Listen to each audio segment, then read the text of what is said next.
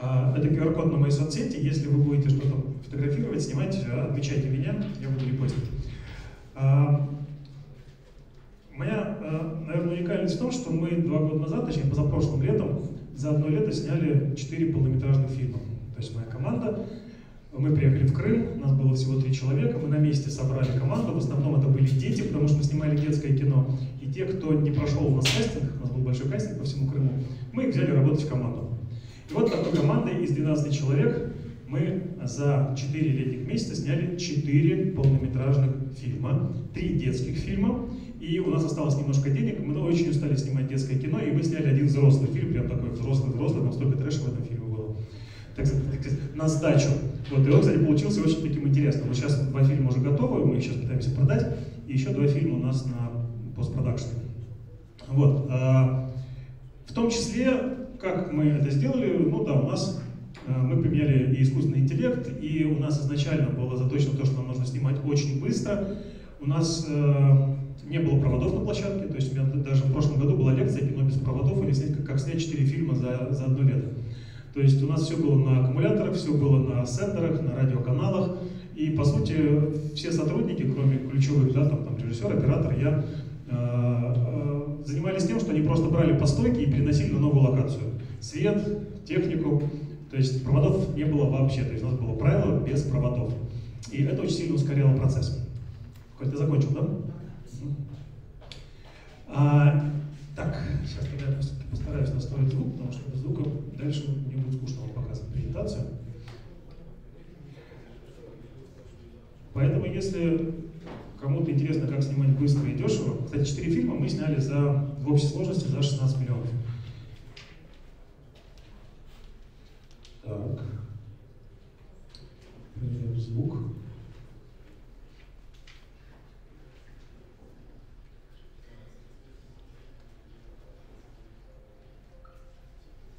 в упор не видит. Что же делать? Я буду, постараюсь одновременно и рассказывать, и настраивать в Word. А, о чем сегодня пойдет речь? Ну, смотрите, а, кино — это достаточно большое объединение самых разнообразных технологий. И, конечно, когда появился в открытом доступе искусственный интеллект, как он появился, я напомню, на самом деле он появился достаточно давно, и у меня даже была отдельная презентация, где я рассказывал про историю появления нейросетей искусственного интеллекта. Но э, заметным он стал в тот момент, когда OpenAI решили присобачить искусственный интеллект к чату. Так появился чат GPT. Вначале была версия 3.0, которую никто не знал, потому что она еще была просто, просто как чат неизвестный. А потом, когда они ее э, выпустили уже как полноценный чат, это версия 3.5, она взорвала просто весь рынок, э, все стали ей пользоваться, все в шоке, и это дало очень мощный толчок для развития искусственного интеллекта. А сама компания называется OpenAI, то есть переводится как открытый искусственный интеллект. И само название подразумевает, что они все технологии дают в открытый доступ, так оно и получилось. То есть свой трансформер, который, кстати говоря, не они придумали, они его просто взяли и начали использовать, они э, дали технологию э, разработчикам. И разработчики начали э, на базе этой технологии создавать огромное количество самых разных нейронок. И вот, собственно говоря, предыдущий спикер называет все-таки это не искусственным интеллектом, а алгоритмом. Тут, конечно, готов поспорить, потому что в отличие от алгоритма, технология искусственного интеллекта не подразумевает алгоритмов. То есть там есть, как наш мозг, мы все знаем, как устроен наш мозг, но никто не знает, почему один человек хороший, а другой человек плохой. То есть э, нейросети работают примерно так же. Мы знаем, как устроена программа, но мы не знаем, что в ней происходит, потому что процесс там слишком сложный и слишком объемный даже для понимания э, компьютерами, не то что человеком. Поэтому мы можем только предполагать, когда мы обучаем или создаем модели, что вообще произойдет в конечном итоге. Ну, собственно говоря, чуть позже будем говорить про новую нейросетку Сора. А, там это прям очень очевидно, и даже сами разработчики об этом говорят. Это очень забавно, и это, если честно, немного пугает. Так, все-таки э, мне нужен звук, потому что без звука я ничего не смогу сделать. Сейчас, простите, друзья, придется немножко нам поковырять его. Потому что даже здесь, например, уже, уже нужен звук. Звука нет.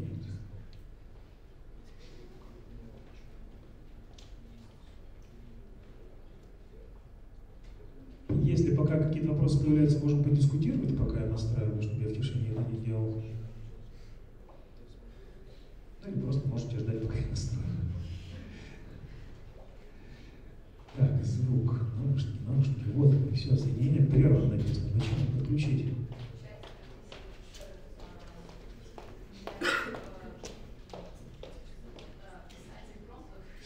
Ну, не совсем. На самом деле, почему я назвал э, презентацию э, нейросети для режиссеров? Сама профессия режиссера, ну, так как я сам тоже по второму высшему образованию я режиссер, я понял, что нужно сделать. Нужно перезагрузить компьютер. Подругились устройство, и он не может их даже вернуть. Мы его перезагрузим, а я пока немножечко э, расскажу, как я вижу профессию режиссера.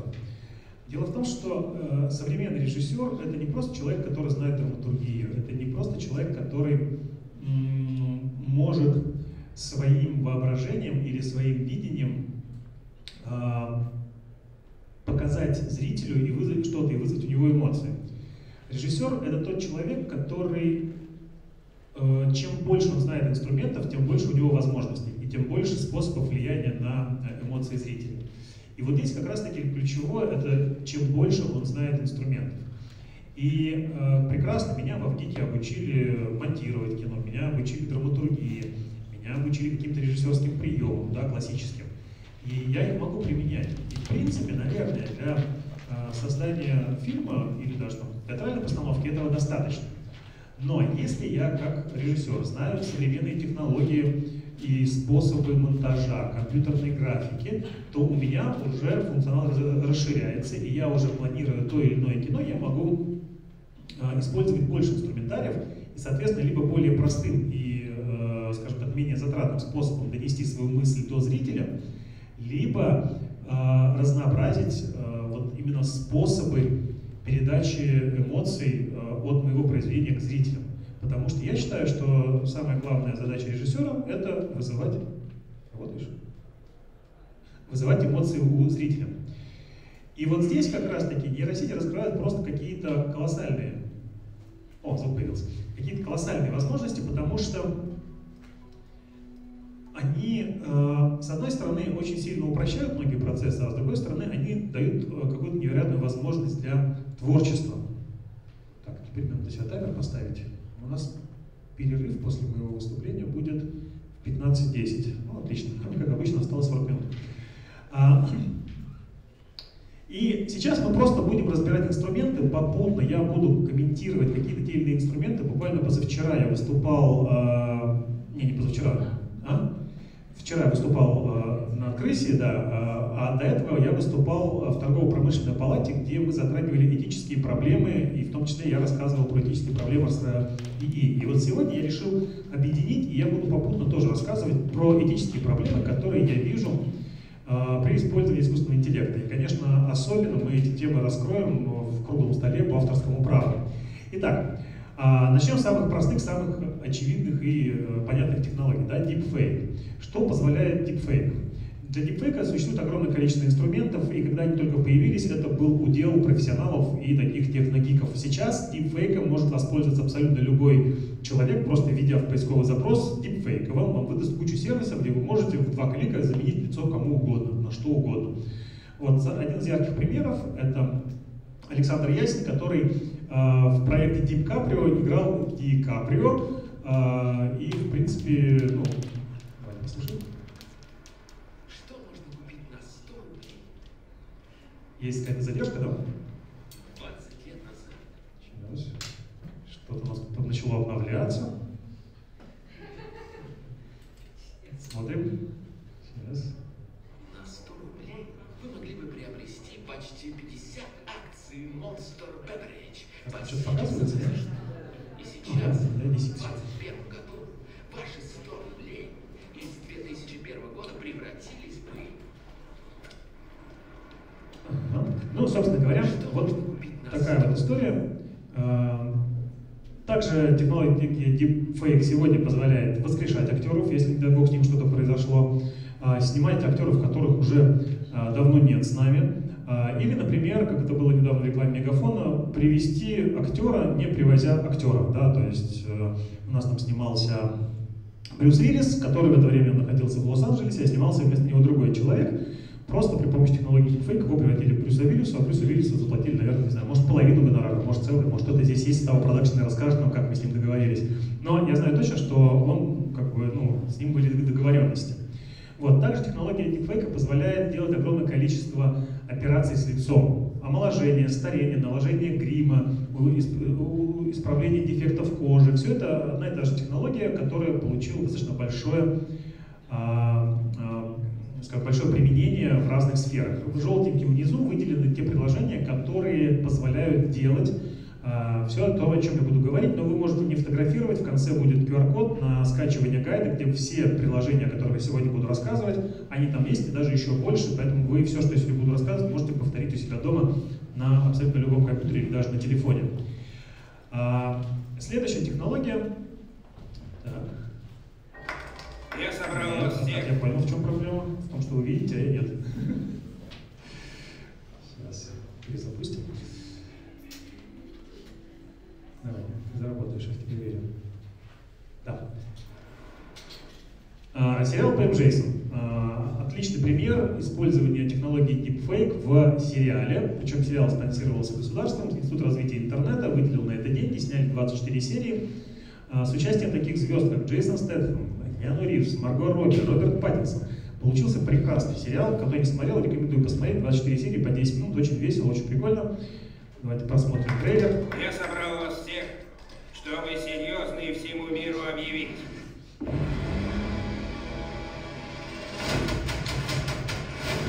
Джейсон Стэтхэм. А чё сидим? Я сказала ножи точить и не ляс. Давай-ка поподробнее. Ты знаешь, Киану, как произошла одна история. Что мы вчера делали?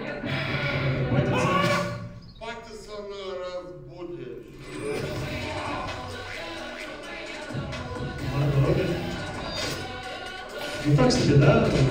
Звезды составчик. И сколько ей денег выделяет на кино, что такие звезды снимаются в российских сериалах.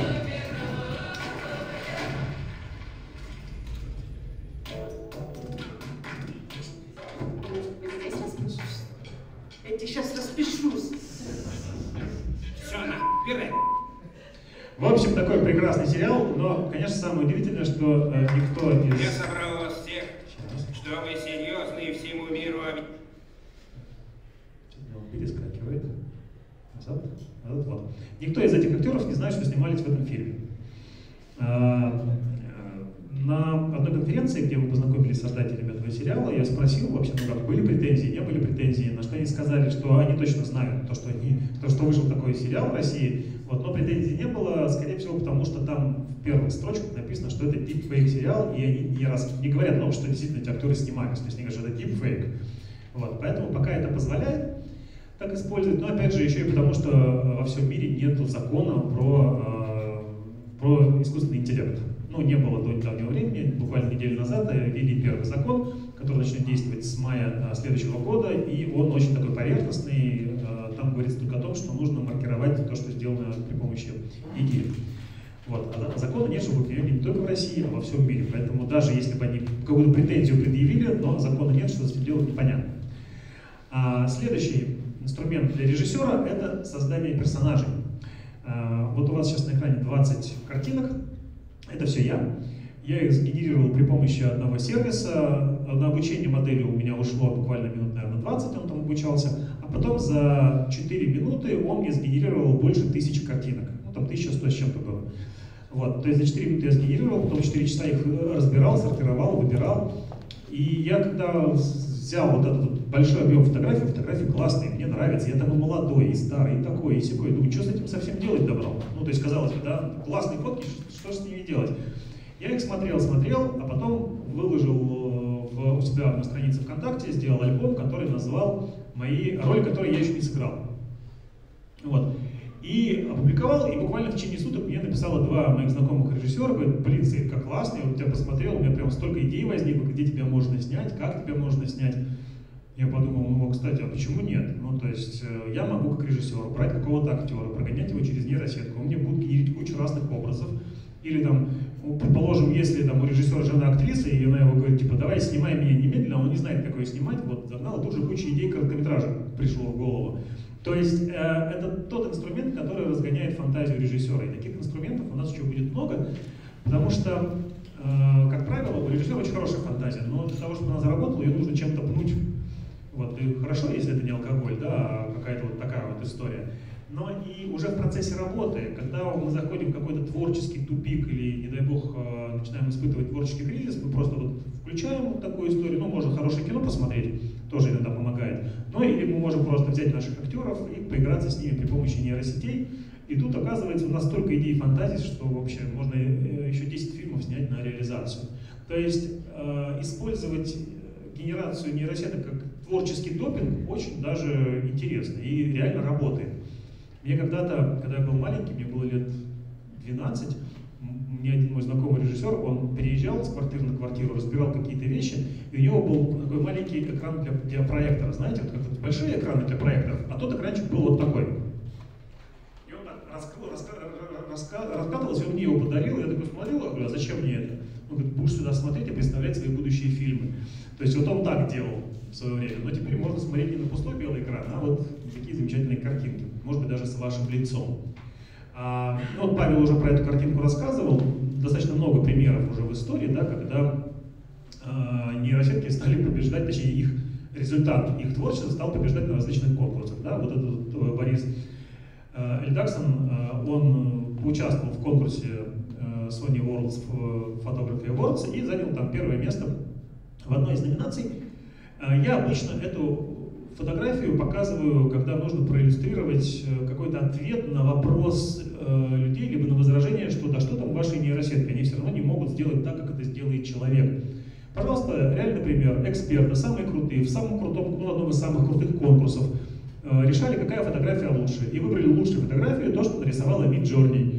Вот. Но э, Борис оказался таким человеком честным, и он признался, говорит, извините, нет такой фотографии, я ее придумал и нарисовал при помощи нейросети, разразился, как обычно, большой скандал, вот, ввели кучу правил, чтобы он больше не повторился, и запретили присылать фотографии, созданные не фотоаппаратами, вот, а нейросетями. Но тем не менее, как иллюстрация того, что действительно нейросетки на сегодняшний день уже способны создавать э, продукты, качество которых оценивают эксперты очень высоко и даже присуждают им главные призы, пожалуйста, на лицо. Да, это фейк. А, что еще можно сделать при помощи нейросетей? Да, если мы говорим про генерацию изображений, картинок, еще чего-то, например, можно моделировать миры.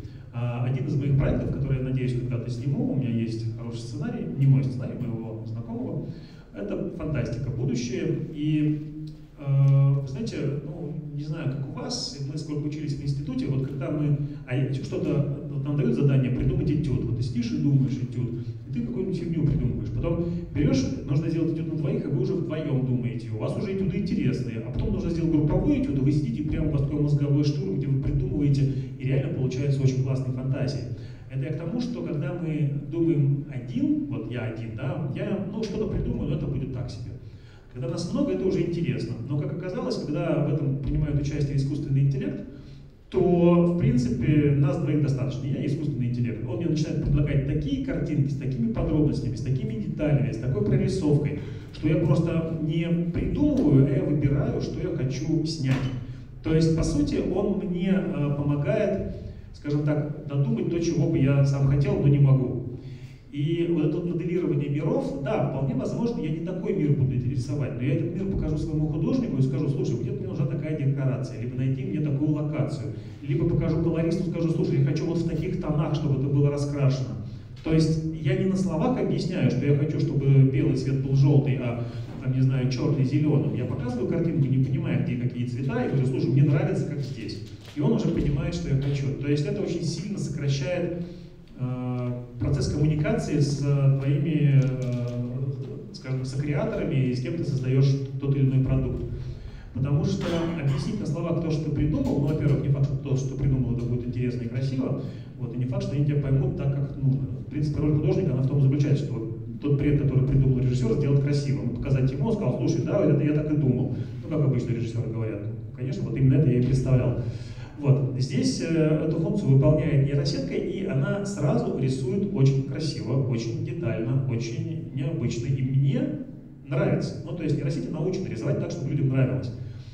И довести до команды становится намного проще. То есть первое, это помогает раскрыть некий твой творческий, э, твою творческую фантазию, а второе, донести это до команды.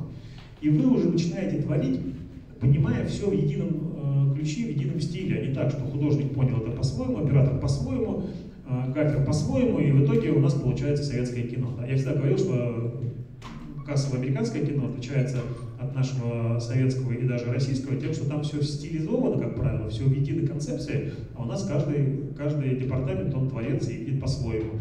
Вот. В целом получается неплохо, но как-то уже очень разнообразно. Вот. Нету некого единого стиля. Вот этот, в принципе, процесс тоже может решать нейросеть, когда она позволяет наладить коммуникацию и творческое представление внутри команды. А, все знают, что при помощи языковых моделей можно писать интересные сценарии. Мы сегодня уже об этом говорили несколько раз. И действительно все знают э, чат GPT, кто-то знает Cloud, кто-то знает э, там, другие языковые модели, типа гигачата нашего от Сбербанка. А, но мало кто знает, что эти модели получают свое развитие для определенных э, целевых профессиональных ниш. В данном случае это на картинке, точнее видео представлен Writer.me. Это очень классный инструмент, который позволяет отлично писать сказки. Но он там пишет и письма, и деловые предложения, и продажи, и прочее, прочее. Но мне нравится именно инструмент как для написания сценариев. Там есть все для того, чтобы комфортно, быстро писать. То есть от идеи он вам накидает идею, потом вы можете выделить два предложения, развернуть их в абзац, потом выделить в абзаце, там, не знаю, мышонок поговорил с козликом, э, и написать ему, а о чем они поговорили, расскажи, о чем они поговорили, и он вам расписал это в виде диалогов. А потом ты видишь, что мышонок и козлик одинаково говорят, ты говоришь, не, не так, мышонок должен быть добрым и ласковым, а козлик должен быть злым и суровым. И он тебе переписывает диалоги с учетом э, персонажных характеристик. И у тебя, получается, диалоги написаны э, э, уже, ты понимаешь, что это разные, разные персонажи. Но, конечно, нейросетка может писать плохо, но что вам мешает выделить кусок, где написано плохо, и сказать, напиши хорошо, и он тебе перепишет это. Вот, и будет переписывать до тех пор, пока ты не скажешь, а вот теперь хорошо. Вот, э, то есть, в принципе, даже если что-то ну, не получается так, как ты хочешь, но тут уж придется поработать и несколько слов руками написать. Вот, а потом сказать, слушай, я устал, продолжи дальше. И он вам продолжит в этом же ключе. Он скажет, а, вот как надо было, да? То есть вот этот инструмент, он действительно позволяет вот это все делать, настраивать, и это все очень гибко и наглядно. Вы можете зайти на этот сайт, там есть видео, где прям показано, как это все работает. В общем, рекомендую, очень классный инструмент. Э, я как-то пару раз писал при помощи него диалоги. Вообще, знаете, у меня было, я как-то на 8 марта в прошлом году, не в этот, а прошлое 8 марта, позапрошлое, я написал э, в наш чат однокурсников девушкам поздравления с 8 марта. Оно получилось достаточно объемным. И единственное, что я в конце э, приписал, что все-таки это мне помогало генерить э, чат GPT, на что мне мой однокурсник потом написал, говорит, спасибо, что ты приписал. Я думаю, мир, мир сошел с ума, ты никогда в жизни так красиво не писал. Вот, а там прям красивое поздравление очень было. Так что, несмотря на то, что я действительно очень хорошо пишу, блин, он делает лучше, чем. Ничего с этим не поделаешь. А, дальше. Теперь э, переходим уже к каким-то техническим моментам, что э, можно делать при помощи искусственного интеллекта и почему это важно знать режиссера. Да? Казалось бы, зачем режиссеру знать, что можно сканировать пространство и локации? Я считаю, что режиссер это такой человек, он должен быть максимально разносторонний и знать все. Вот чем больше он знает, чем больше он умеет, чем больше он пробовал, чем больше он в своей жизни, тем больше у него возможностей творить. Ну, как минимум, воображение, фантазия лучше работает, но и знание инструментариев тоже. А, есть технологии, которые позволяют просто пройдя с телефоном по э, локации, отснять локацию, перевести ее в 3D. Это, конечно, полезно для тех, кто занимается 3D-графикой, CG, ну, например, э, вот внизу в павильоне сейчас работает Илья. Он обычно с нами занимает, это мой ученик, который когда-то обучал вести онлайн-трансляции. Сейчас он работает с командой Погорина, делает онлайн-трансляции в том числе. И он э, освоил этот инструмент для чего? Он, когда выполняет какие-то коммерческие заказы, он приходит на локацию, снимает свой телефон, создает 3D-сцену, расставляет камеру и уже показывает в превизе заказчику, как будет выглядеть картинка, с какой точкой, э, ну, где будут стоять камеры, ну, то есть, по сути, клиент, если он находится не в Москве, он еще до начала съемки понимает, как будет выглядеть вся его локация и как будет выглядеть э, изображение в эфире, э, в трансляции, например. Это один из вариантов использования этой технологии. Ну, конечно, для кино, пожалуйста, вы можете отсканировать и дальше перевести это в тот же самый Unreal, и у вас, у вас уже готовая сцена. Э, я, например, не очень умею моделировать, текстурировать, мне проще отсканировать и получить готовую сцену. Честно скажу, в примерах она выглядит немножко лучше, чем в реальной жизни получается, но может быть у меня руки кривые, я не знаю.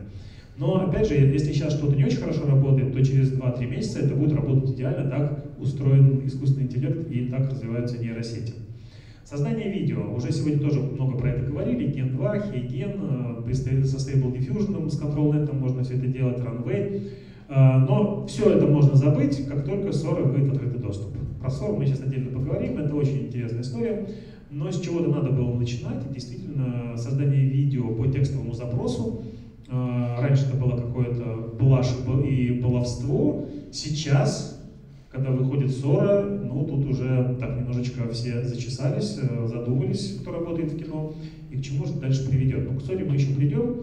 Это, кстати говоря, Кайбер. Э, это пример того, как можно создавать совершенно бесполезные видео, да, казалось бы, трендовые видео, совершенно непонятно для чего нужно, но при помощи этих трендовых видео я знаю несколько человек, которые стали миллионниками в Инстаграме. То есть они просто собрали огромное количество аудитории э, вот на таких видео. Видео вся залетает, собирает кучу э, лайков, кучу комментариев, получает большие охваты. И казалось бы, вроде как видео бесполезное, а аудитория растет. Да, у нас сейчас известно, что подписчики это самый ценный капитал, который можно сейчас быстро накопить, а потом монетизировать. Вот. Видео выглядит примерно вот так, это два видео.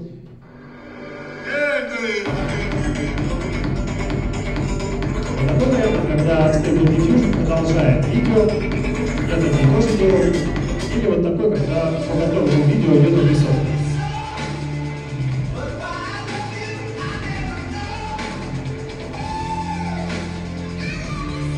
делается элементарно, но очень залипательно выглядит. И, наконец, появляется Сора. Еще раз скажу, вчера я прочитал новость, то, что начали раздавать доступ к Соре. То есть то, чего то долго ждали, не всем пока. И, видимо, не вчера, просто вчера я про эту новость прочитал. Вот, но процесс запущен. И вот здесь вот хочется немножечко остановиться. Многие люди не понимают, что такое Сора. Многие люди думают, что Сора — это генерация видео. Ну, в принципе, если посмотреть поверхность, да, это генерация видео. Вот то, что вы сейчас видите, видео, это полностью сгенерировано Сорой. И здесь мы видим, как работает реальное отражение, как дома какие-то, видим искажения оптические да, на это окно. Ну, то есть, ну, если бы мне не сказали, что это сгенерировано нейросетью, я был бы уверен, что это вживую снято, да я и сейчас не верю в то, что это сгенерировано нейросетью, но так оно и есть. Что позволяет Сора? До одной минуты в 4К. Понимание физики и динамики происходящих процессов в кадре. Создание видео из изображения, заполнить недостающие фрагменты, там покажу еще примеры. Создание бесконечных видео, управление камерой. Кстати говоря, Sora э, это первая нейросеть, которая позволяет полноценно, ну как полноценно, на уровне текстовых запросов управлять камерой, потому что до этого были простейшие движения, которые можно было задать. Здесь можно указать, откуда камера куда летит, что делает, как снимает. А, и вот дальше интересные штуки, такие как композиция, там еще что-то. Я зашел на сайт Sora, первый, первый предварительный релиз, да, где было описание технологий, где много видео было, примеров, почитал, что написано, там много видосиков прикольных, заходил, заходите, очень залипательно. Но там дальше есть второе, у них всего две страницы было посвященное слову. Вторая страница была, называлась техническая документация, и там были описаны технические процессы о том, как работает э, алгоритм, как обучаются модели, в чем отличие от э, обычных диффузионных моделей, э, что такое патчи, на которых он работает и так далее. Но дальше шли примеры, которые генерит Сора, и мне больше всего понравилось, там после некоторых абзацев в конце было написано, ну, мы как бы мы это не закладывали в эту модель, мы просто обучили, мы не знаем, почему оно работает, как оно работает. Ну, что касается композиции. Всегда хорошая композиция. И это была проблема в, в предыдущих э, нейронках, которые генерили, э, видео, были нарушения с композицией. Там э, оно всегда хорошая композиция. И никто не понимает, как это работает. И они прям пишут, мы не знаем, почему это работает, мы не ожидали, что это вообще так будет, но нам понравилось то, что это работает. Вот. Но тут возникает вопрос, если вы сами не понимаете, как оно работает, то что будет дальше? Но, как я сказал вначале, никто не понимает, как работает нейросеть. Понять это на уровне головы невозможно, потому что это слишком э, мощный процесс, который происходит внутри самой э, нейронной модели. А что еще позволяет делать Sora? Сейчас.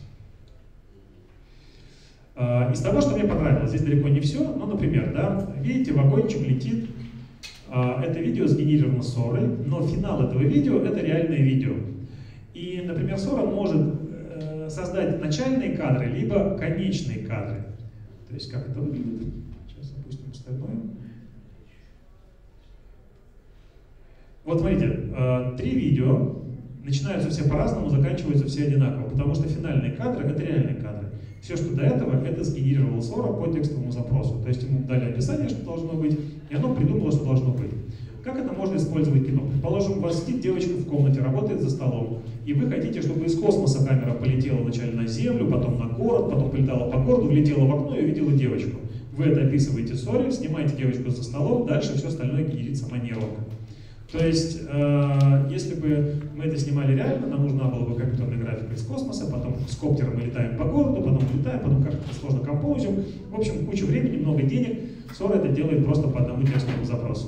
Точно так же она может продолжить видео, сказать, вот тебе начало видео, продолжи и заверши тем-то. И она может вставлять какие-то недостающие куски. Мы можем центр видео вырезать, если нам что-то не нравится, сказать, слушай, вот заполни это, но без, этого, без, без этих предметов. И она нам это сделает. И бесконечные циклы, ну тоже такой интересный пример, да, там э, самый первый, что напрашивается, давайте сделаем 10-секундное видео в Инстаграм, и люди не будут понимать, где оно заканчивается, он нагрузится 10 раз, алгоритм Инстаграма подумает, что видео очень интересно, раз вы 10 раз посмотрели, и выдвинет нас сразу в топ. Таким образом можно накручивать э, себе просто огромные охваты, потому что реально человек не понимает, где заканчивается видео, где начинается снова, оно же по кругу крутится. А, что у нас дальше? А, дальше еще про соло, да. А, собственно говоря, а, что мне еще понравилось в Соре, это нативное редактирование. То есть вот это исходное видео, просто сняли, как машина едет по лесу. Что такое нативное редактирование? Это когда мы просто текстовым запросом описываем, что нам нужно изменить в видео. Например, пускай э, машина едет не э, по лесу, а пускай она едет по джунглям. Пожалуйста, Сора тут же вам сгенерировала та же самая машина, та же самая дорога, только деревья по бокам отличаются, это уже джунгли. Э, точно так же можно будет ей говорить, вырежи вот то, вставь то, замени вот это, пускай будет вот так вот, ну, например, как здесь, пускай это будет не машина едет, а пускай это будет повозка с лошадью, да, и вот уже повозка и лошадь бежит, правда, если присмотреться, там почему-то копыт внизу от двух лошадей, а сверху одна лошадь, но пока еще не совсем она это умеет делать, но лошадь бежит так же быстро, кстати, копыта очень быстро перебираются, бедная лошадь, да, вот. Э, или, например, совершенно какой-то возьмем безумный запрос, а давайте машина едет динозавров, пожалуйста, вот вроде по лесу, а просто динозавры появляются.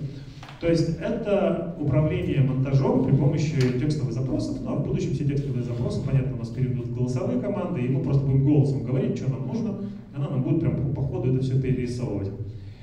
Ну а теперь самое интересное, да? а, это еще не все про 40, да, вот еще одна история. Как из двух видео получить третье? Слева у нас есть хамелеон, справа какая-то птичка, по центру что-то среднее между хамелеоном и птичкой. А, ну, то есть то что, то, что по центру, ну, не существует у нас такой, э, такого хамелеона с перьями, либо птичкой, как хамелеон. Сейчас оно тут вот, видите, превратилось в хамелеона, но с перьями на голове. То есть совершенно какое-то невообразимое космическое существо, но если увидеть его одного, будет полное ощущение, что это реально существо существует.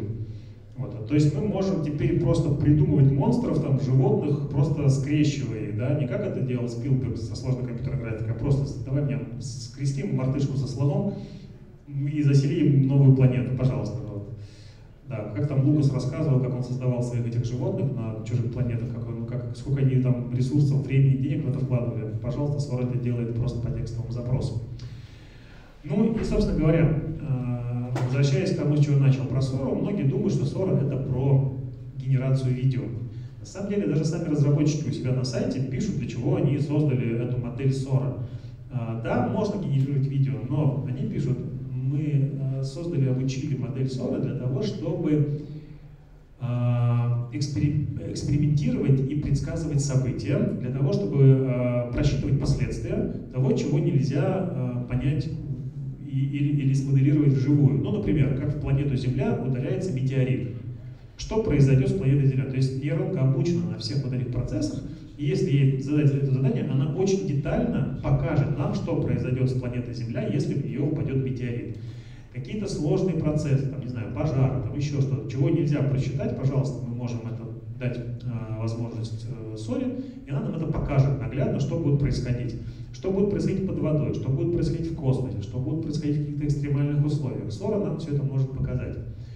Ну и если так вот рассуждать и двигаться дальше, э, я не знаю, сколько времени занимает сейчас генерация ссоры, но у нас пока нет доступа к ней, но я думаю, что при достаточном количестве железа она будет это делать в реальном времени. Когда мы это будем делать в реальном времени, что произойдет? Мы просто одеваем какие-нибудь очки виртуальной реальности, где мир в реальном времени генерируется в реальном качестве.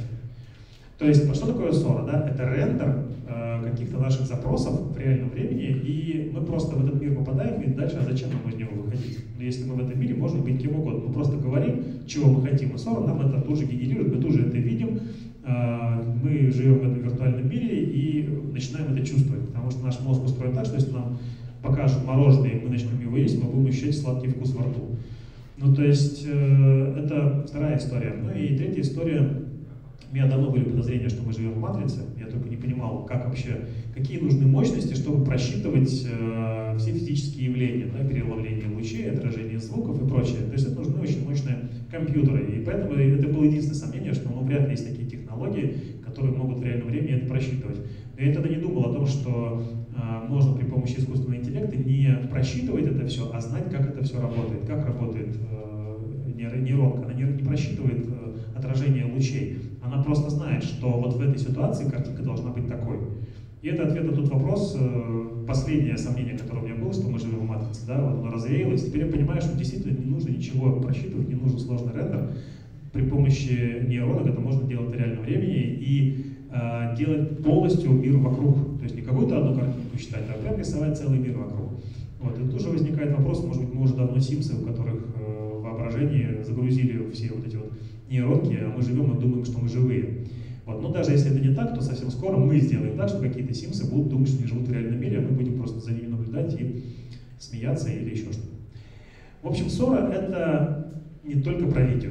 И если вы думаете, что ссора была создана для того, чтобы нам картинки красиво рисовать, нет. Она создана для того, чтобы мы через какое-то время очутились в новом мире и не знали об этом. Ну, двигаемся дальше. Сканирование объектов и людей. Раньше для этого, ну и сейчас тоже используются достаточно дорогие 3D-сканеры, э, как бы, ну, промышленные модели стоят там, по полмиллиона, миллион, я знаю. Вот. Э, но сейчас при помощи своего мобильного телефона вы можете себя отсканировать. Это приложение э, In3D, которое вообще изначально было создано для того, чтобы помещать свой аватар в метавселенной. Поэтому достаточно такого низкого качества но это мобильный телефон и камера мобильного телефона. Пожалуйста, берете этот алгоритм, помещаете в хорошую камеру, и вы уже просто у вас есть цифровой аватар в 3D. Что с ним делать дальше, я сейчас расскажу. А, да, немножечко мы скачем здесь по слайдам, но окей. Это как раз таки фильм из нашего, фрагмент нашего фильма, который мы снимали в Крыму. А, и когда я приехал в Крым, я сказал, что ну, мы приехали, нас было три человека. Я, режиссер и техник, который отвечал за то, чтобы у нас не растащили технику на площадке. Вот. И он же по совместительству еще оператором-постановщиком. Вот. На самом деле оператором-постановщиком был у нас режиссер, то он был камераманом, но это вообще отдельная история. А, так вот, я как генеральный продюсер, которого был бюджет на съемки фильма, я приехал, я думал, сейчас здесь в Крыму найду недорогих гримеров. Оказалось, что в Крыму гримеры дороже, чем в Москве, потому что в Москве их много, в Крыму их мало. Вот, в итоге меня исключили из двух чатов гримеров э, в Телеграме, предварительно со мной все поругались, сказали, что я вообще, как я смею так дешево оценивать труд гримеров. Вот. Я расстроился, а, поговорил с режиссером, и мы пришли к выводу, зачем нам гример. Ну, то есть у нас дети, детей не надо гримировать, в принципе, нормально все, но оказалось, что у детей бывают прыщи, неожиданно возникают. Вот. И э, на что мне режиссер сказал, слушай, в DaVinci сейчас появились инструменты по, с искусственным интеллектом, которые позволяют удалять и кожу. Мы такие, все, зашибись, нам не гример. В итоге, действительно, мы сняли 4 полнометражных фильма без гримеров вообще. Ну, как вообще? Мы четыре раза приглашали гримера на четыре смены, когда у нас снимались четыре разные звезды. Ну, у нас кино бюджетное, поэтому у нас сценарий прописан так, что нам на одну смену приезжала звезда, и мы его снимали сразу на весь фильм. Вот. И э, когда приезжала звезда, нам просто ну, надо было, как бы, если он спросил, а где гример, мы сказали, типа, там, женщины были, мы сказали, что у нас нет гримера, ну, как-то не солидно, пришлось взять дорогого гримера на одну смену в каждый фильм. А, но тем не менее, это просто пример того, как можно сейчас работать без гримеров. Да, вот видите, у нее прыщики на лице выскочили, наш главный персонаж. Вот, потом раз, на посте обрычков уже нет. Причем это DaVinci, и это самые первые версии нейронов. Вот, сейчас при помощи нейронов можно не просто прыщи убирать, можно просто грим накладывать, можно вообще не гримировать, можно и губы накрасить, и глаза подвести, и ресницы заменить, и идее лицо сделать, и носик сделать красивым. В общем, все можно сделать буквально в 2-3 клика, причем не даже в какой-то там дорогой профессиональный DaVinci, а даже в CapCut, который бесплатно ставится на компьютер, все эти инструменты уже есть. Пожалуйста, пользуйтесь бесплатно. А, поэтому теоретически без гримеров работать можно на бюджетных фильмах. А, что еще? Генерация клонирования голоса. Ну, а, это тоже достаточно старые примеры. Это DID, который, ну, так себе... А, нет, это не DID, это Хейдет, по-моему. Вот. Э, здесь, на самом деле, э, этот пример даже не про то, что мы можем генерировать голоса при помощи текста или там переозвучивать. А, это пример того, как просто можно маркетинг выстроить, э, вот, сделать такую вот заставочку да, с текстом, с диктором, с голосом, это стоило, по-моему, что-то там 15 долларов в месяц, пожалуйста, сколько хочешь делай. А для того, чтобы это сделать обычно, нужно арендовать студию, заплатить дизайнеру, заказать motion графику, заказать озвучку, ну, в общем, сложно. То есть, э, опять же, э, как бы, если вы режиссеры, вам нужно создавать вот такие вещи, да, для коммерческих заказов, вы просто знаете, что есть такие технологии, которые это все упрощают. Но там есть свои минусы, сейчас мы о них поговорим. Давайте послушаем сгенерированный нейронкой текст, да, как текст в речи. Если вы хотите быть в курсе самых ярких новостей киноиндустрии, получать информацию о запуске новых проектов... Все хорошо, но я слышу, что это не ровно. Без эмоций, без ничего. Но оказалось, что можно взять, записать реальный голос, и под этот реальный голос э, с сохранением липсинга вы выбрать любого человека, там их 250, не знаю, 300, 400, сколько их там этих аватаров, любого цвета кожи, мужчины, женщины в разных одеждах, и я просто записал. Если вы хотите быть в курсе самых ярких я, я записал свой голос и просто положил его. QR-код ведет на мой телеграм-канал, э, посвященный кино. Кому интересно, подписывайтесь. Послушаем. Если вы хотите быть в курсе самых ярких новостей киноиндустрии, получать информацию о запуске новых проектов и узнавать последние сплетни и инсайдерскую информацию о проектах и людях, подписывайтесь на мой телеграм-канал «За кадром». Все хорошо. Я, это мой голос, ничем не обработанный, но я не профессиональный диктор, и, как говорит мой режиссер, говорит, я тебя переозвучу, у тебя не брендовый голос. Я возьму голос из рекламы. Вот. А, но это оказалось не проблема, да, то есть дальше, здесь, не здесь. Если вы хотите быть в курсе самых ярких, послушали уже. Дальше начинается генерация и клонирование голоса. Я э, этот слайд создавал полгода назад, и я понимал, что уже это можно было делать. Да? Это Сергей Чинашвили, один из самых красивых и дорогих голосов России. Проповедник нравственности. Знаем его. Известный русский театральный режиссер и создатель системы актерской игры Константин Станиславский. Я поставил на свой комп нейронку. Поведник. А, и обучил модель на голосе Чинашвили. Ну, то есть я получил готовую модель, обученную на этом голосе. Потом я своим голосом записал кусочек сказки.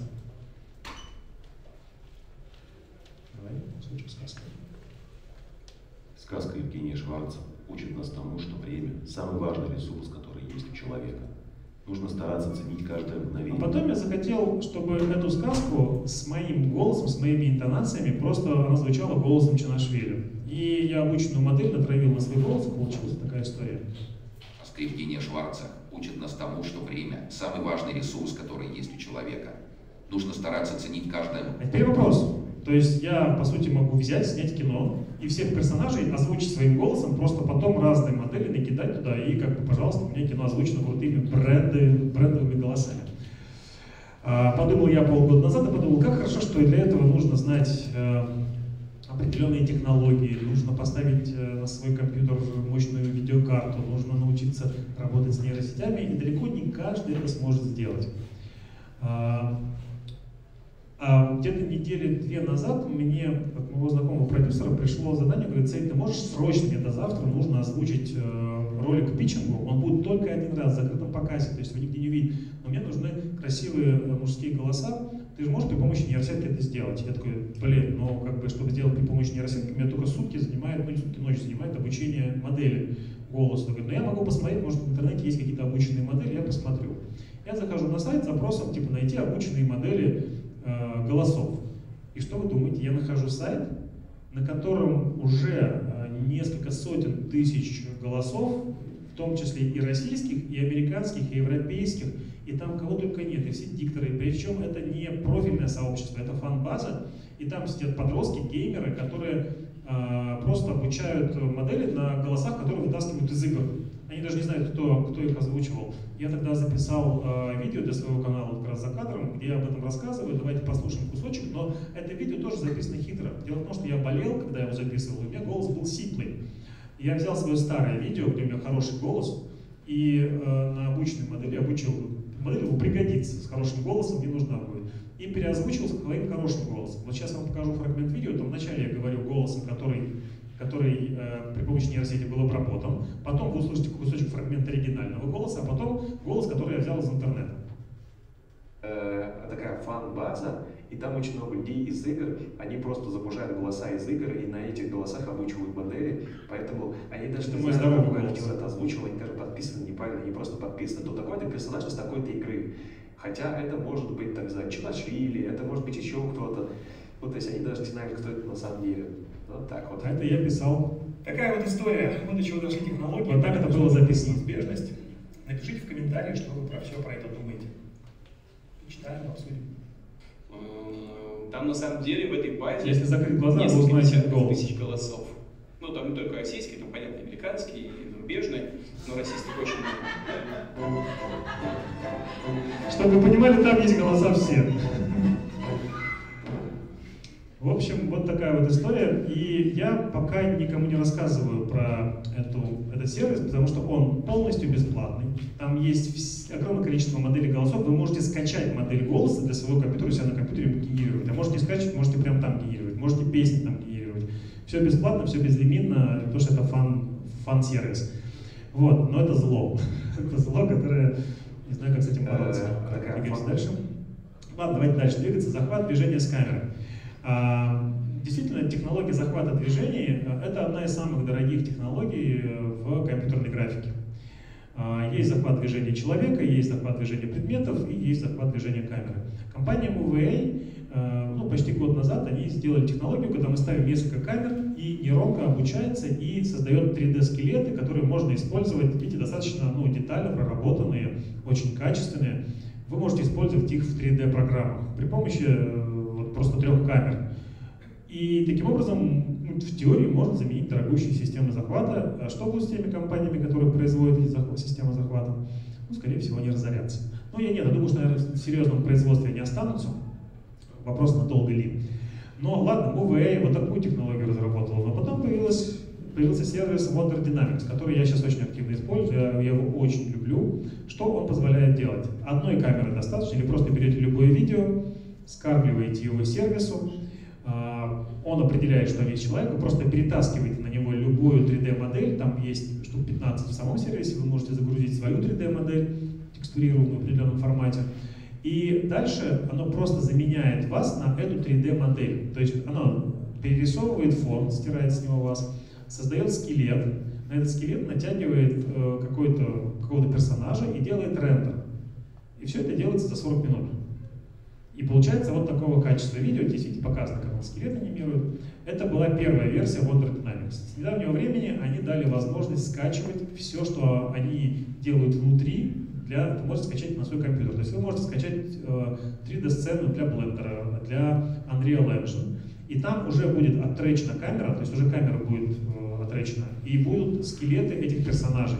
Вы можете использовать любой свой персонаж, натянуть его, заменить фон, и, пожалуйста, у вас ну, просто на коленке создать абсолютно любой мультик. Ну а если это будут реалистичные декорации, вы умеете работать с Unreal, как это делает XLVP, то вы просто можете снимать кино на коленке. Вот такая идея у меня возникла, и я даже решил попробовать его снять. Я снял фрагментик, и позавчера э, вечером начал это делать. Но я, конечно, за день не успел сделать, я уперся в Unreal Engine. Там, как бы я его знаю, не настолько хорошо, чтобы быстро в нем работать. Э, И по сути, как ни странно, самое сложное оказалось не, э, не трекинг, не захват, не создание скелетов. Самое сложное это настроить свет в Unreal Engine, чтобы он был реалистичным, или загрузить там модель. Но, в общем, я это доделаю проект, может, покажу на каком-нибудь следующем CPS, либо на какой-нибудь выставке. Но что, что этот сервис? За э, 19 долларов в месяц вы получаете огромный набор инструментов, которые э, сегодня в продакшене кино стоят безумных денег. Знаете, стоит как 15 долларов в месяц. Я, кстати, покажу, я делал урок для а, а, школы, где я преподаю, это записываю видеоуроки по нейронке. Школа называется Event MBA, даже значок сверху висит. А, это школа, которая обучает продюсеров э, эвентов. А, и а, там есть у них курс по нейросетям. Вот они меня наняли, я стал там амбассадором этого курса и записывал них уроки. Вот как раз я взял просто мальчика, который танцует. Ну, красивый мальчик танцует. Потом э, через Wonder Dynamics заменил его на, заменил его на персонажа. Давай назад. Э, заменил его на вот такого персонажа, робота. Причем я не учел, что я взял черно-белую картинку, и он только распознал черно-белую картинку и сделал черно-белого робота. Потом я, собственно говоря, скачал, скачал э, то, что он предложил, и загрузил в Unreal Engine. Пожалуйста, вот единственное, что в реальном времени у меня не получилось его запустить, потому что и запись экрана работала, и сцена сложная. Э, в общем, видно, что скелет повторяет все движения, дальше я могу крутить его как угодно, что угодно с ним делать, натягивать любого персонажа. При этом камера тоже отречена. Ну, то есть, э, если бы я там построил декорацию, у меня бы декорация тоже двигалась. В общем, сейчас на основе вот этой технологии я вот пытаюсь сделать какой-то ролик. Э, дальше. Что еще позволяет делать нейронки для... Чем может быть полезно режиссерам? Так, у нас время. Когда я должен закончить? А, я должен закончить скоро уже. Через три минуты. Ускоряемся. Э, создание э, костюмов. Смотрите, это я просто четыре запроса вбил в Stable Diffusion, и он мне выдал четыре картинки. То есть, когда я работаю с художником по костюмам, я а, а, долго объясняю, что я хочу, потом мне художник в лучшем случае цветными карандашами и красками это нарисует, но это будет так вот яркими пятнами, непонятно. Здесь э, мне нейронка нарисовала все в деталях, в подробностях. Я могу даже, если мне не важна какая-то э, привязка к эпохе, там, либо соблюдение каких-то реалистичных, э, там, не знаю, э, элементов, там, типа военной формы и прочее, просто говорю, мне нравится вот это платье, просто костюмерам надаю, говорю, идите шейте. Они уже сами разбираются, как это шить. Вот. Э, тем не менее, конечно, художники по костюмам нужны, потому что нужно соблюдать достоверность эпохи, если мы что-то историческое снимаем. Но возможность генерировать огромное количество одежды э, и выбирать то, что тебе понравилось, ну, намного проще, чем объяснять художнику по костюму, что тебе нужно, и он тебе будет приносить в день по 4 эскиза, а здесь ты за 5 минут уже 40 получил.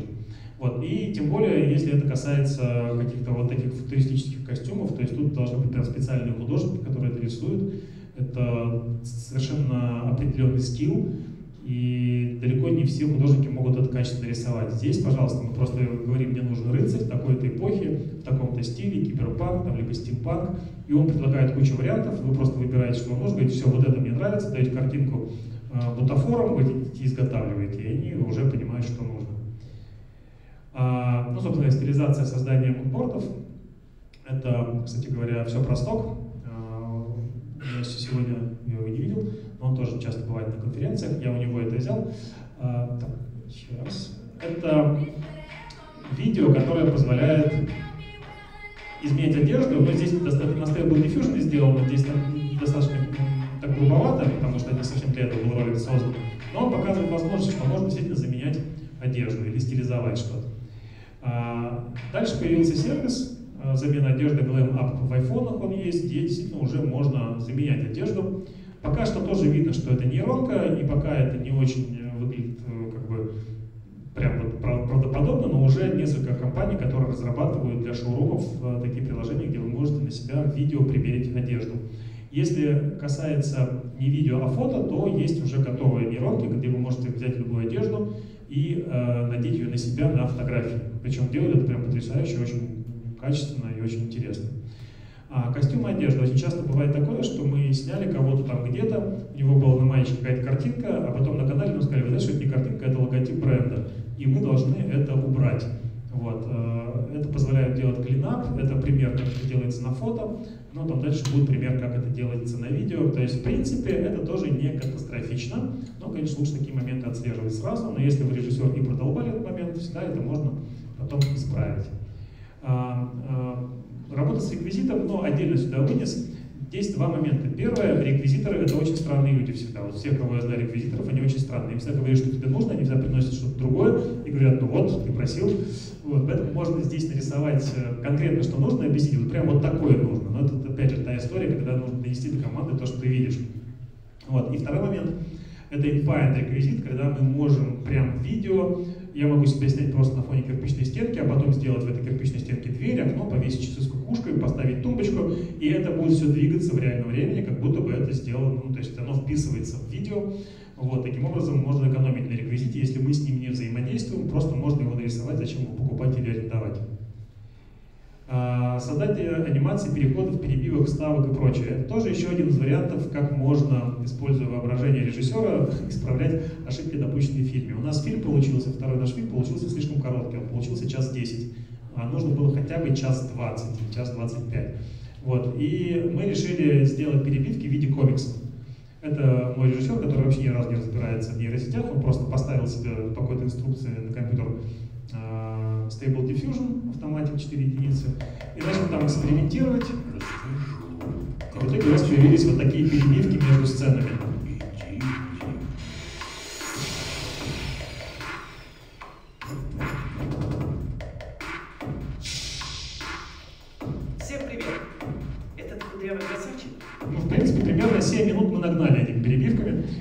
Добавили динамики. На самом деле, они очень хорошо вписались туда, и мы стали их везде использовать. Мы, у нас тут появились такие облачка, что люди, там, наши актеры думают. Ну, в общем, мы стилизовали, получилось очень даже интересно. Опять же, ну, это вот работа режиссера, как он применял эту историю. Создание музыки, ну, про музыку уже говорили, да, то есть э, можно сделать по запросу, по примеру, можно делать бесконечную музыку перевод музыки в MIDI или в ноты. Сейчас есть э, инструменты, которые позволяют просто разложить музыку на инструменты, да, отдельно барабанная партия, отдельно бас-гитара, отдельно там, ритм-гитара, отдельно саксофон. Вот. Э, ну, это вот просто пример того, как э, можно разделять музыку на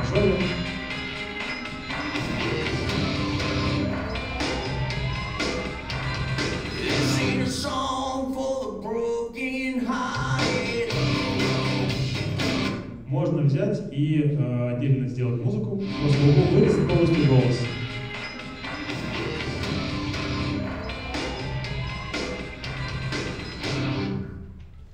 Здесь пошла песня. Ну и, соответственно, можно просто вырезать голос. То есть, помните, раньше была проблема, что нужно... Да, это голос.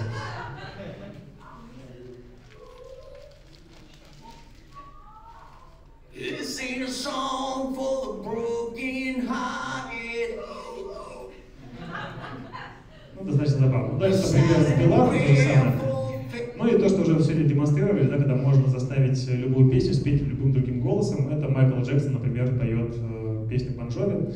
Следующий пример — это э, Билан. Майкл Джексон поет, мы его слушать не будем. Это-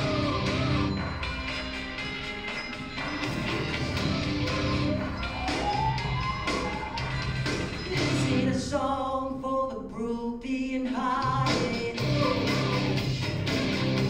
В общем,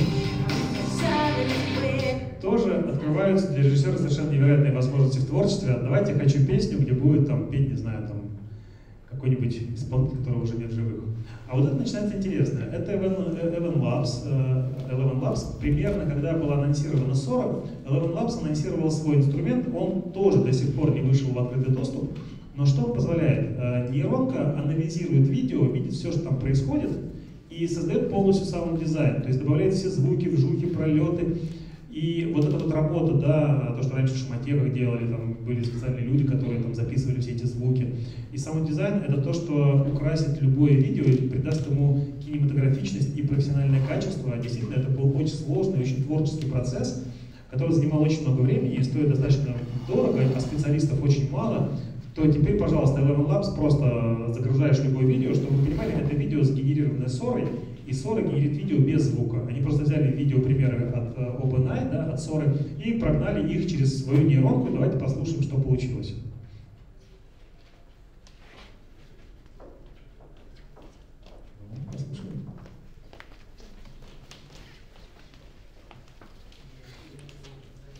Не хочет.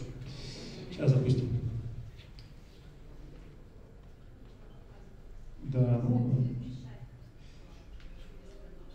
Просто сейчас презентация идет не с моего ноутбука, и здесь, возможно, что-то не хочет. Сейчас. И стал. Ну, или не послушал. Ну, не знаю, почему-то не хочет воспроизводить это видео, но, собственно, чтобы вы понимали, э, вот все видео, которые, э, не все, там несколько видео, которые OpenAI открыли в Соре, они здесь озвучены, мельчайших шумов, то есть до мельчайших каких-то эффектов. На камеру полетают все эти вжухи озвучены.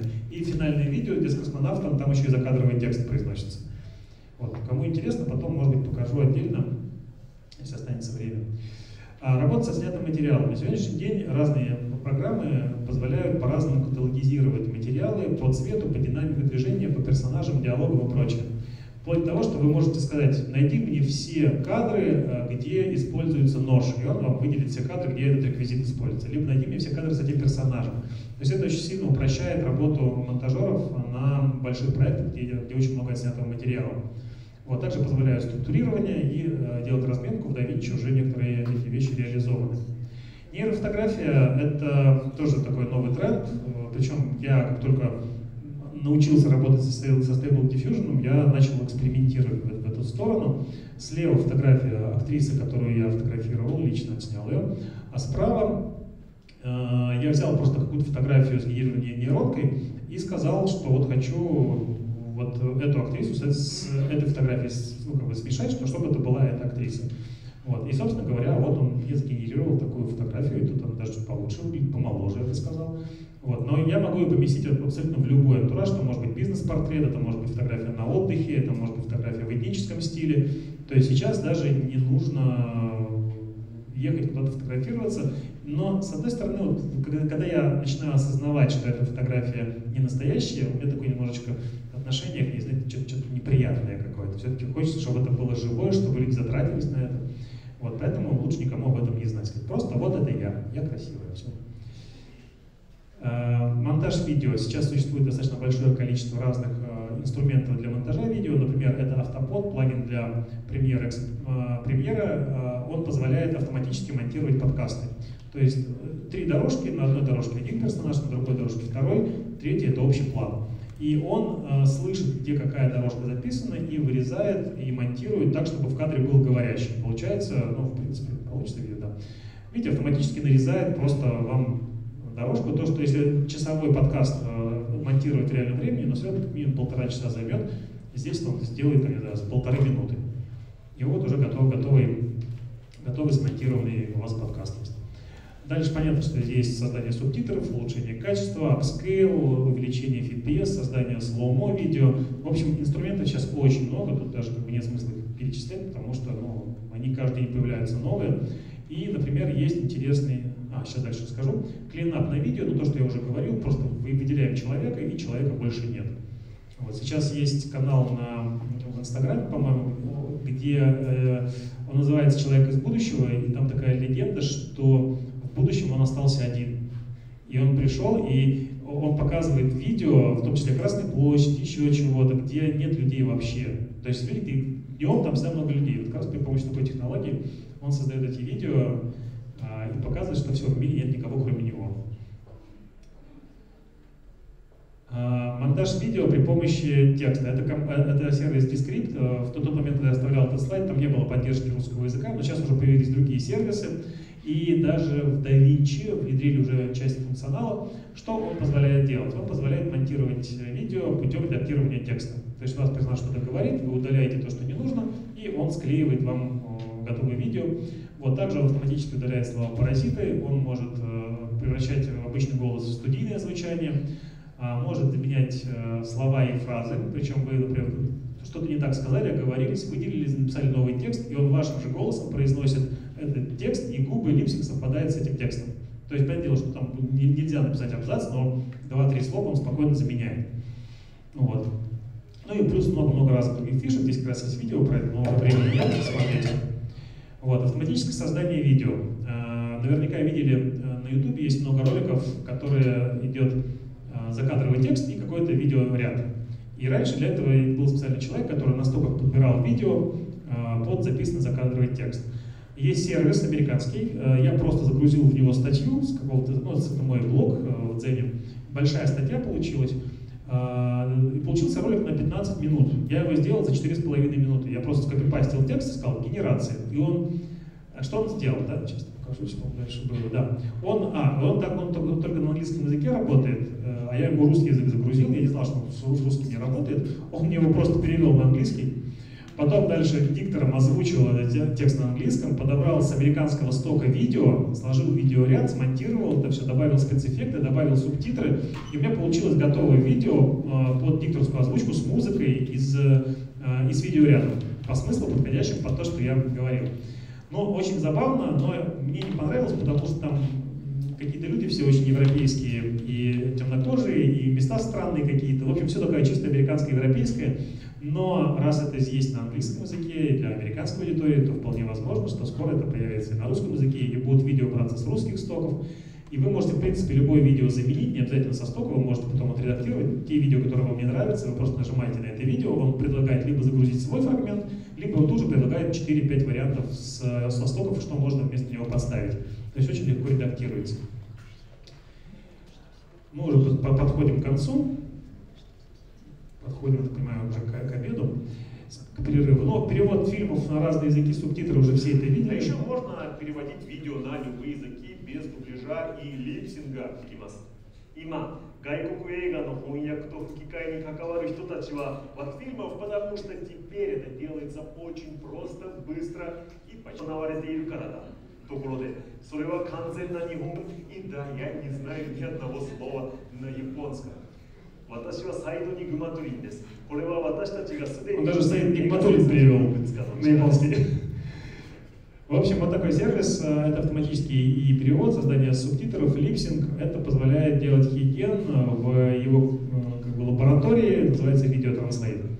А еще можно переводить видео посмотрели. А, это релайтинг. Э, здесь пример, как можно на фотографии делать релайтинг, э, но есть инструменты в том же капкате, уже это можно делать на видео, причем абсолютно бесплатно. Вот, э, просто расставляете источники света, и он начинает вас подсвечивать так, как вам это нужно. И создание постеров — это постеры, созданные при помощи искусственного интеллекта, и по моему убеждению они выглядят намного эффектнее, ярче интереснее, чем реальные постеры к этим фильмам.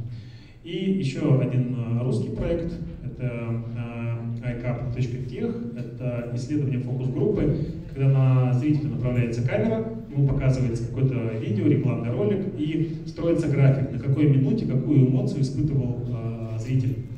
То есть таким образом они сейчас очень как бы, стали популярны и тестируются, например, реклама, несколько вариантов монтажа рекламных роликов, где нужно вызвать определенные эмоции, можно замерить градус этой эмоции, так работают с фокус-группами. И вот то, что сегодня я услышал, у меня этого в слайде нет, я обязательно добавлю. Мне очень понравился кейс, о котором сегодня говорили. Подбор локаций при помощи искусственного интеллекта, когда вы описываете то, что вам нужно, а искусственный интеллект вам подбирает реальные локации для съемок.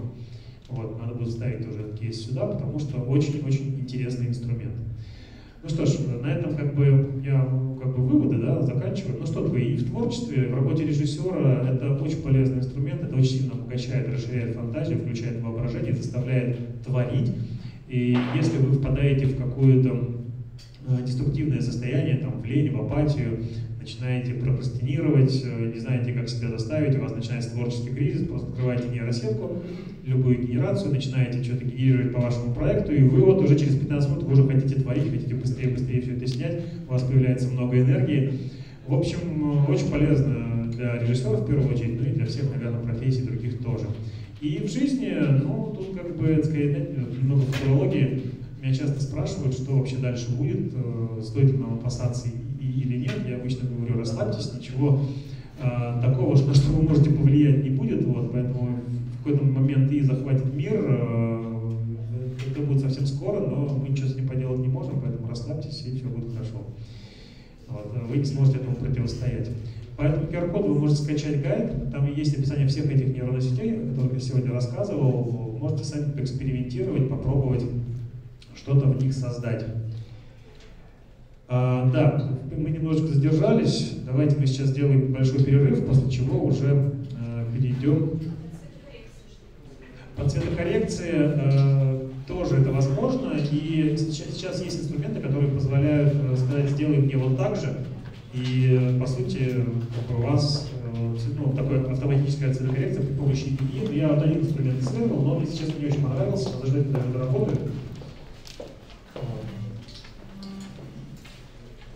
Так, 15.30, у нас уже 15.30, давайте 15 минут, 15.45 мы начнем с круглого стола, а, на которого я хочу пригласить Александра Скороходова, Леонида Устинова. Это э, основатель и руководитель 4 Creative Agency и адвокаты советник 4 Creative Agency.